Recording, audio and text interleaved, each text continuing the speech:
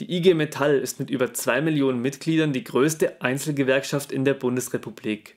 Sie vertritt die Interessen der Arbeitnehmer in der Metall- und Elektroindustrie und dürfte den meisten Menschen vor allem durch groß angelegte Streikaktionen ein Begriff sein, die immer wieder auch in der Region Neckar-Alb stattfinden.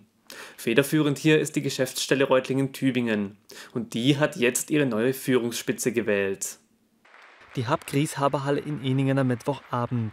Bei der IG Metall Reutlingen-Tübingen steht, wie alle vier Jahre, unter anderem die Wahl einer neuen Geschäftsführung an. Zwei Kandidaten haben ihren Hut in den Ring geworfen. Claudia Hülsken und Kai Lamparter wollen die zweigeteilte Führungsspitze übernehmen.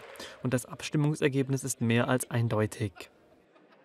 Ich bin sehr zufrieden äh, mit dem Wahlergebnis. Es ist vielleicht ein bisschen überraschend, dass es tatsächlich 100 Prozent sind. Äh, aber ich habe auch vorhin schon gesagt, die Arbeit beginnt morgen. Das ist ein Vorschuss Vertrauen, was wir hier bekommen haben. Ich habe mir versucht, gar nicht so viele Gedanken zu machen, aber ich freue mich für dieses Vorschussvertrauen. Und das möchten die beiden frisch gewählten Bevollmächtigten natürlich nicht enttäuschen. Darum haben sie sich für die kommenden vier Jahre einiges vorgenommen. Die Ziele sind hochgesteckt.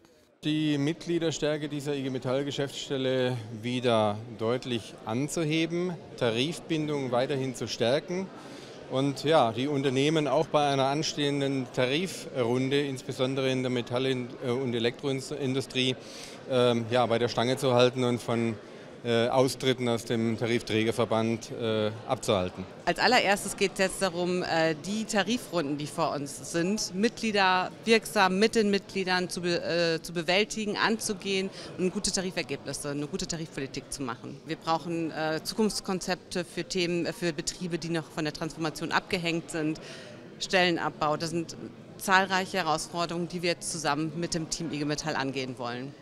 Außerdem wollen sich die beiden Neuen an der örtlichen Gewerkschaftsspitze um das Thema Kurzarbeit kümmern und nach Lösungen für die schwache Auftragslage bei manchen Unternehmen suchen. Die 80 Wahldelegierten, die direkt aus den Betrieben in die Landkreise Reutlingen und Tübingen kommen, trauen ihnen das zu. Sonst wäre die Wahl wohl nicht so einstimmig ausgefallen.